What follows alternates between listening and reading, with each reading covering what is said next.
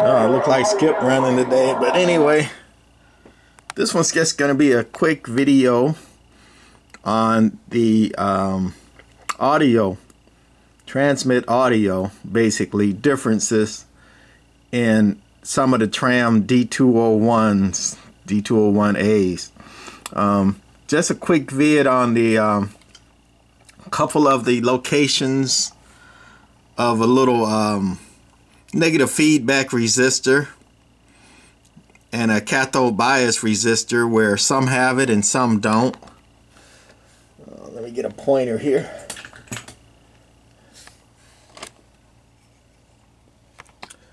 If you see this little uh, brown resistor right here,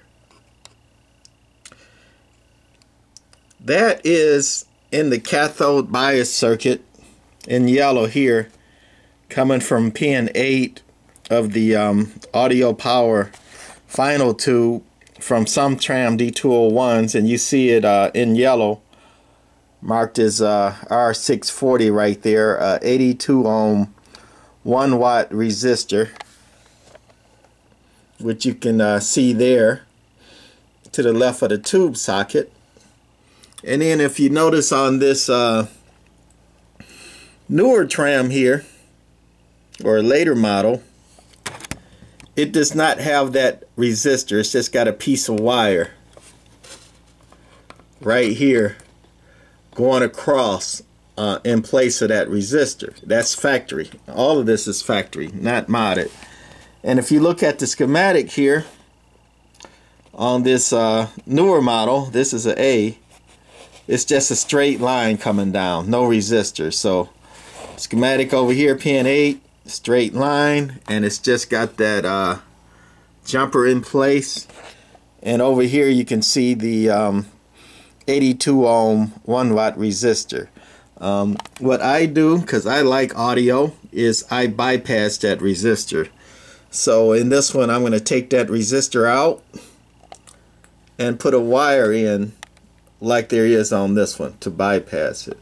But also there's another difference. If you see right under the tube this old uh, half watt resistor here. Brown black green so one mega ohm. That's a negative feedback resistor. It cuts down on the audio uh, coming out of the final tube. It takes uh, some of the audio coming out and puts negative voltage going into it so it basically cuts down the audio output of the final tube. But if you look over here again you will see this one that had the cathode resistor does not have that negative feedback resistor. There's no holes and no place for it basically. So um,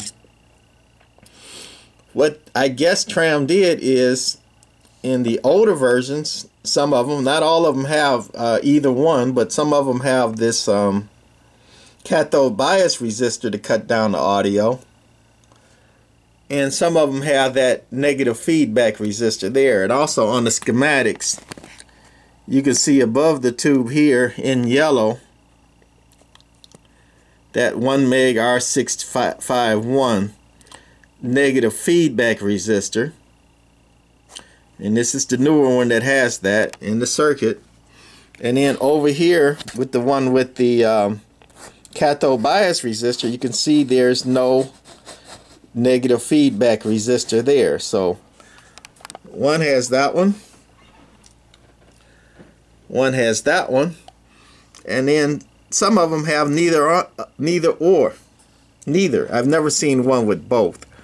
But if you want uh, max audio out of a tram D201 or A and from the factory some of them have neither. So if you have the one here, the cathode one, you want to jumper it.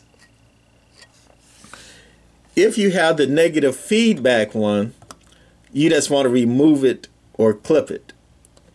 And again, some factory models have neither one. So you're not really modding it.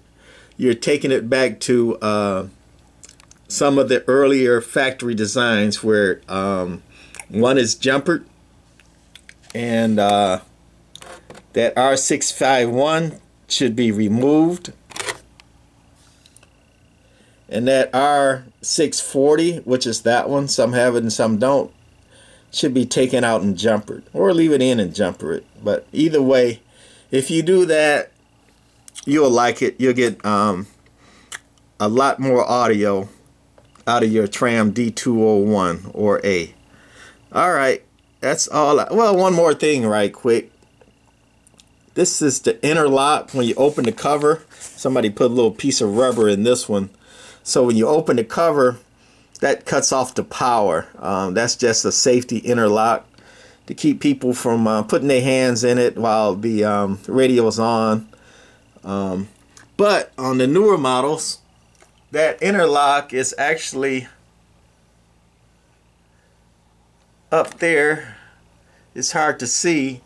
And this screw that holds down the cover, um, that when you screw it down, it engages the interlock and activates the radio. So um, you either have to have the screw in it or the cover with the screw in it. But either way, you have to have the screw uh, screwed down for this radio to come on with the cover um, off or even with it on you have to have that screw in it unless you bypass the interlock um, that's been tricky for some people. They get a, a, radio and it doesn't have the screw in it and they're like uh, I can't get that thing to come on you know with the cover off. It's like well okay.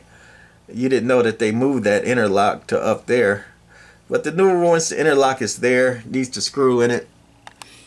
And the older ones were here and people just um, put something in there to keep the switch over there um, to the left side which basically keeps it on all the time if you want to run the uh, radio with the cover off or with the radio um, uh, with the cover open okay that's gonna be it for this one actually this one's not mine it's a customer's looks nice doesn't it and I offered the guy some money for it, but he didn't want to sell it. I offered him six, and he said he turned down eight. So if you ain't gonna offer the guy a thousand or more, I wouldn't even ask. So don't ask me.